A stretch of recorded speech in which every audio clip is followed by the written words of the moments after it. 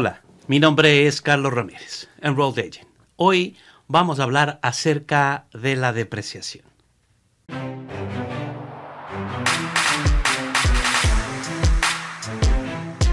En este curso tenemos varios objetivos, así que usted va a poder entender los diferentes tipos de depreciación, conocer qué tipo de convención se debe usar para cada uno de los activos de su negocio, conocer el periodo de recuperación de los activos más comunes, es decir, los que se compran con mayor frecuencia Entender el sistema de recuperación de costos acelerado modificado.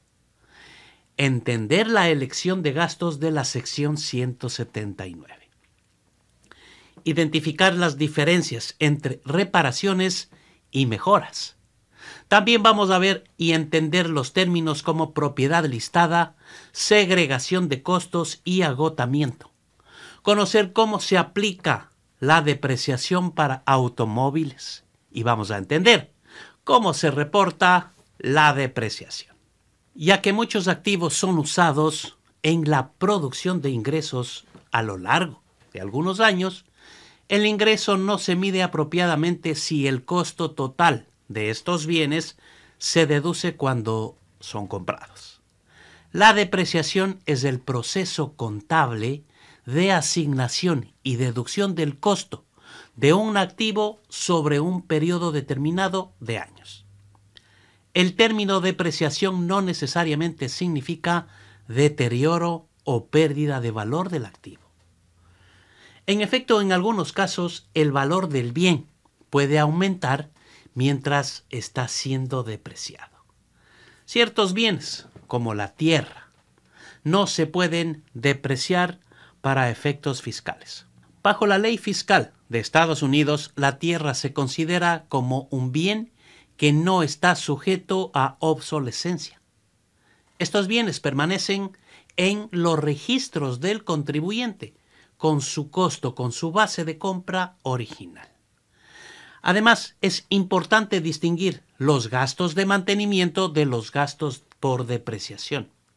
El gasto por depreciación es una deducción de una parte del costo original del bien, mientras que los gastos de mantenimiento son gastos incurridos para mantener el bien en buen estado de operatividad.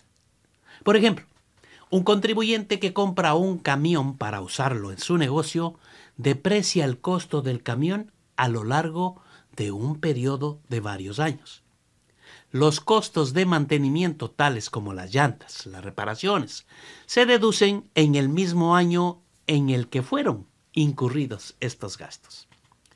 Generalmente se requiere que la depreciación para la propiedad que tiene una vida útil de más de un año de vida.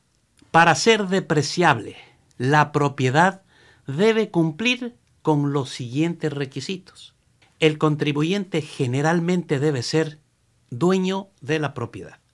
La propiedad debe ser utilizada en el negocio del contribuyente o en una actividad que genere ingresos. La propiedad debe tener una vida útil determinable y se debe esperar a que la propiedad dure más de un año. Métodos de depreciación. Los métodos de depreciación bajo el MACRS, el sistema de recuperación de costos acelerado modificado, incluye el método de saldo decreciente del 200%. 200% declining balance. El método de saldo decreciente del 150%. El método de línea recta los métodos de saldo decreciente aceleran la depreciación durante los primeros años y cambian la línea recta en el año en el que éste producirá una deducción más alta. La línea recta. El método más simple de depreciación es el método de línea recta, el Straight Line Method, SL. El uso del método de la línea recta resulta de una porción igual del costo que se deduce en cada periodo de la vida del activo. El gasto de la depreciación en línea recta se calcula dividiendo el costo por la vida útil estimada del activo. Aquí la fórmula será el costo igual a la depreciación por el periodo de vida útil estimada del activo. Vamos a poner un ejemplo. Usted compra un activo para usar en su negocio. Le costó 14.400 y compró el primero de octubre. Tiene una vida útil de tres años, es decir, 36 meses. La depreciación se calcula con el monto total de 14 mil dólares dividido para los 36 meses. Esto es 400 dólares. La depreciación de cada año se muestra en la tabla que usted va a ver a continuación. Para tener una visión más clara, vamos a ver que en el año 1, el año 2, tenemos el año 3 y tenemos el año 4. ¿Por qué tenemos esta proyección? Porque la persona compró en el mes de octubre del año 1. En el mes de octubre, si compró, por ejemplo, el primero de octubre, tenemos octubre, noviembre y diciembre. Tenemos tres meses por 400 dólares. Esto sería 1.200 dólares en el primer año. En el segundo año tenemos que la depreciación es por los 12 meses. Multiplicamos por 400 dólares por cada mes y esto nos da un resultado de 4.800 dólares por el año completo.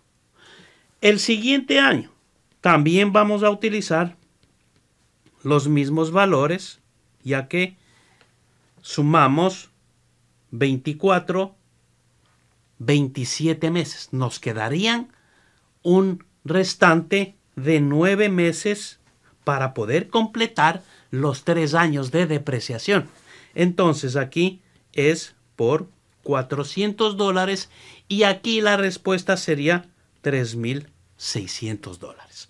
Si hacemos esta suma, nos va a dar una respuesta de 14.000 dólares que es el costo total de la compra.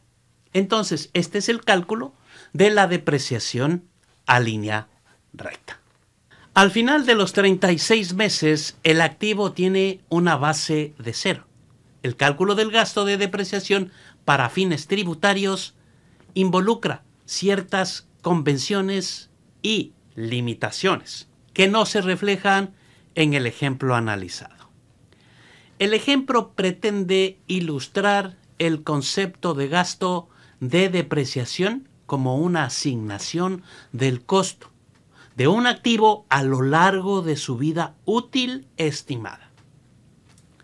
El método regular de la depreciación en línea recta que analizamos anteriormente puede usarse para fines de contabilidad financiera y para calcular el costo de la depreciación fiscal en activos adquiridos antes de 1981.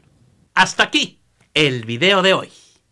No se pierda la continuación de la depreciación para que usted domine la materia. Muchas gracias.